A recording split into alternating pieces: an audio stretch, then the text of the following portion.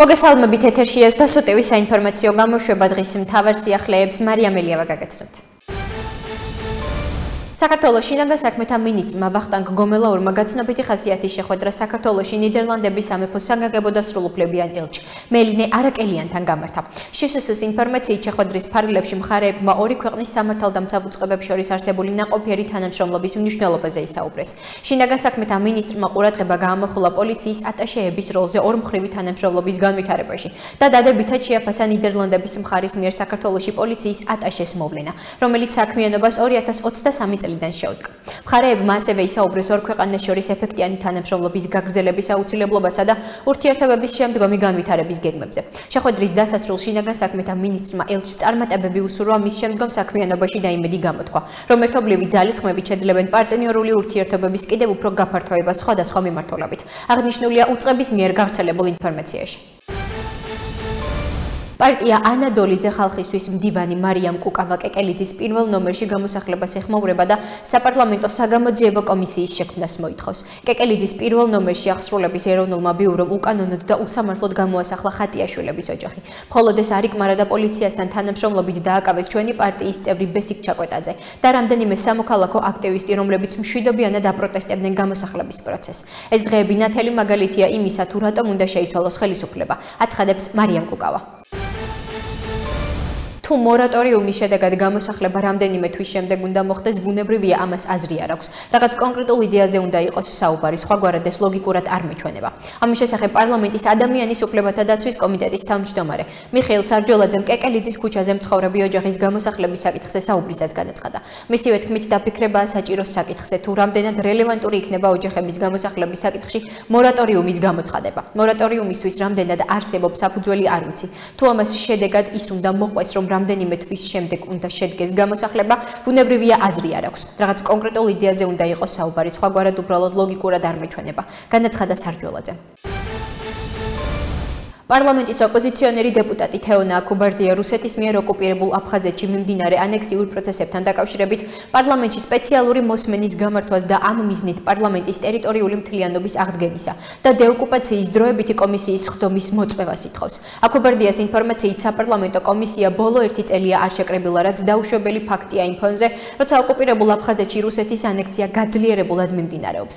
დაუშვებელია რუსეთის ანექსიურ პროცესზე საქართველოს პარლამენტის დუმილი. მით უფრო მაშინ რო როცა აქამდე ქართული ოცნების პირობებში პარლამენტში აღნიშნულ საკითხებზე შესაბამისი რეზოლუციების მიღება კონსენსუსის გზით შესაძლებელი იყო. განაცხადა თეონა გობარდია თუ სალომე ზურაბიშვილი ქართული ოპოზიციის ლიდერი გახდება, გამოდის, რომ ქართული ოცნების მეგობარი არის ქართული ოპოზიციის ლიდერი. არ ვიცი, ამას იზამს თუ არა ჩვენი ოპოზიცია, მაგრამ შემიძლია ზუსტად გითხრათ, რომ მე ამ საქმეში არ გავერევი. ამის შესახებ გირჩის დეპუტატმა იაგო ხვიჩიამ ხალხის ძალის განცხადების კომენტირებისას აღნიშნა. მისივე თქმით, საქართველოს პრეზიდენტი სალომე ზურაბიშვილი ქართული ოცნების მეგობარია და მათთვის არასდროს არაფერი დაუშავებია. ის სპექტაკლი, რომელიც ჩვენ იმპიჩმენტის მცდელობის სახით ვნახეთ, არის ქართული ოცნების და სალომე ზურაბიშვილის შეთანხმებული ქმედება. თუ ქართული ოპოზიციის ლიდერი გახდება ქალბატონი სალომე, გამოდის რომ ქართული ოცნების მეგობარი არის ქართული ოპოზიციის ლიდერი. აქედან გამომდინარე არ ვიცი ამას იზამს თუ არა ჩვენი ოპოზიცია, მაგრამ მე ამ საქმეში რომ არ გავერევი შემიძლია ზუსტად გითხრათ. განაცხადა ხვიჩია. პარტია ხალხისთვის ლიდერის ანადოლიძის განცხადებით გამოსახლების აქტებზე მორატორიუმი უნდა გამოცხადდეს. აღნიშნული შესახებ მან პალიტრანიუსის გადაცემაში პოლიტიკური სიფრცე განაცხადა. როდესაც ისაუბრა კეკელიძის ქუჩაზე მდებარე საცხოვრებელი ბინიდან აღსრულების ბიუროს მიერ ხატიაშვილების ოჯახის გამოსახლებაზე.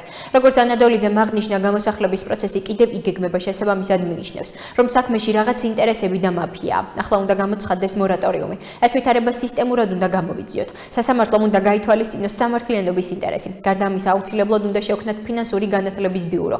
ეს შეიძლება გაკეთდეს ეროვნულ ბანკთან. ერთმანეთთან მიწყობით არის სამივე გამოსახლება, სხვებსაც ვნახავთ, ალბათ ხალხი ხმას ამოიღებს. სამწუხაროდ მე მეჩვენება, რომ აქ პირიქით რაღაცა ინტერესია, რომ მალე დამთავრდეს, სანამ ზამთარია. გამწვავდება და სანამ გაზაფხული დადგება. განაცხადა ანატოლიძე. საქართველოს ფინანსთა მინისტრმა ლაშა ხუციშვილმა შვედეთის სამეფოს საგანგებო და სრულუფლებიან ელჩთან საქართველოში ანა ლიბერგთან გაცნობიტი ხასიათის შეხვედრა გამართა. ამის შესახებ ინფორმაციას ფინანსთა სამინისტრო ავრცელებს. მათივე ცნობით შეხვედრას დაესწრნენ ფინანსთა მინისტრის მოადგილე ეკატერინე გუნცაძე და ერიკ ილესი, შვედეთის ელჩის მოადგილე განვითარებისა და თანამშრომლობის სააგენტოს წარმომადგენელი საქართველოში. მხარეებმა განიხილეს ორმხრივი თანამშრომლობის საკითხები. განსაკუთრებით ყურადღება გამახვილდა შვედეთის საერთაშორისო განვითარების სააგენტოს მიერ საქართველოში მიმდინარე პროექტებზე. შვედეთის ელჩმა ქართულ მხარეს მიულოცა ევროკავშირის კანდიდატი ქვეყნის სტატუსის მინიჭება და პოზიტიურად შეაფასა ორ ქვეყანას შორის მრავალწლიანი თანამშრომლობა. მან მზაობა გამოხატა ახალ პოსტზე მუშაობისას. ხელი შეუწყოს ორ ქვეყანას შორის პარტნიორობის გაღრმავებას. შვედეთის სამეფოს მხარდაჭერით საქართველოსი ფინანსდება ისეთი სფეროები, როგორიცაა დემოკრატიული მართლობის განვითარება, ადამიანის უფლებების დაცვა, განათლების სექტორი, გარემოს დაცვა, ვაჭრობისა და კერძო სექტორის განვითარება. ნათქვამია ინფორმაციაში. თბილისის საქალაქო სასამართლოში თბილისის მერის კახა კალაძის წინააღმდეგ ლელოს ლიდერის მამუკა ხაზარაძის ადვოკატმა ზვიად კორძაძემ სარჩელი შეიტანა. როგორც ადვოკატის ზვიად კორძაძე განმარტავს სასარჩელო მოთხოვნა სასამართლოს მიერ კახა კალაძისთვის გავრცელებული არასწორი ცნობის უარყოფის დავალებაა. ბატონმა კალაძემ მამუკა ხაზარაძეზე განაცხადა, რომ ის ადამიანებს აუბიტურებდა ბიზნეს ართმევდა რაც პატევის, ღირსების და საქმიანი რეპუტაციის შემლახველი განცხადებაა. ჩვენ სარჩელი ამ ცნობების უარყოფის მოთხოვნით შეგვაქვს, რადგან ეს სინამდვილეს არ შეესაბამება. ყალბი ცნობები ცნობებია და შესაბამისად სასამართლოს ვთხოვთ ბატონ კალაძეს დაავალოს აღნიშნული ცნობის უარყოფა. ამ ბოლო დროს წარმოებაში მიღების საკითხი ასეთი ტიპის სარჩელებზე ცოტა სხვანაირად ხდება კანონის შეუსაბამოდ. დაველოდოთ რა მოხდება ყველანაირი საფუძველი არსებობს განცხადება სახეზია საკანონმდებლო ნორმების სახეზია, რომელიც ბატონ მამუკას ამის საშუალებას აძლევს. დანარჩენს დაველოდოთ სასამართლოს მხრიდან. განაცხადა კორძაძემ. ახლა კი გაგაცნობ თუ ცხეთის სიახლეებს. მოლდოვის საგარეო საქმეთა მინისტრმა ნიკო პოპესკუმ თანამდებობა დატოვა. ამის შესახებ მან პრესკონფერენციაზე განაცხადა. ქვეყნის პრეზიდენტის მაია სანდოს მიერ დასახული საგარეო პოლიტიკური მიზნების წარმატების შესრულების შემდეგ მე ვიცე-პრემიერისა და საგარეო საქმეთა მინისტრის თანამდებობას ვტოვებ და ამ ეტაპზე მე პაუზა მჭირდება. განაცხადა ნიკო პოპესკუმ. მან აღნიშნა, რომ იგი ევროინტეგრაციის პროცესში მთავრობისა და მისი გუნდის მხარდაჭერას გააგრძელებს. ნიკო პოპესკუმ მოლდოვის საგარეო საქმეთა სამინისტროს 2021 წლიდან ხელმძღვანელობდა. ისრაელის თავდაცვის ძალები აცხადებს, რომ ღაზას სექტორში მდებარე ქალაქ ხან-იუნისში ჰამასის წინააღმდეგ ბრძოლა გრძელდება. ისრაელის თავდაცვის ძალების ცნობით ხან-იუნისში 98 დივიზია ჰამასზე ზეწოლას აძლიერებს და ტერორისტულ ობიექტებზე საჰაერო იერიშებს ახორციელებს. ხან-იუნისში მიმდინარე სამხედრო ოპერაციის დროს ისრაელის თავდაცვის ძალების ჯარისკაცებმა ჰამასის რამდენიმე მებრძოლი მოკლეს. რამდენიმე მათგანი ტანკსა წინააღმდეგ რაკეტის გამოყენებას გეგმავდა. ისრაელის თავდაცვის ძალების ინფორმაციით საბრძოლო მოქმედებები ღაზას სექტორის ჩრდილო ჩრდილოეთ და ცენტრალურ ნაწილებშიც გრძელდება. ჩინეთმა ნაურუსთან დიპლომატიური ურთიერთობები აღადგინა. ამის შესახებ ინფორმაციას ჩინეთის საგარეო საქმეთა სამინისტრო ავრცელებს.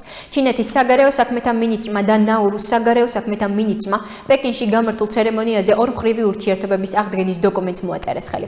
მიუხედავად იმისა, რომ ჩინეთი და ნაურო გეოგრაფიულად ერთმანეთისგან შორს არიან და უზარმაზარი ოკეანეებით არიან დაშორებულნი, ორი ხალხის მეგობრობას დიდი ისტორია აქვს. განაცხადა ჩინეთის საგარეო საქმეთა მინისტრმა. ჩინეთსა და ნაურუს შორის ელჩების დონეზე კავშირები დაუყოვნებლივ განახდება. გახსენებთ. ტაივანის საპრეზიდენტო არჩევნების შემდეგ წყნარი ოკეანის კუნძულოვანმა სახელმწიფომ ტაივანთან კავშირი გაწყვეტა.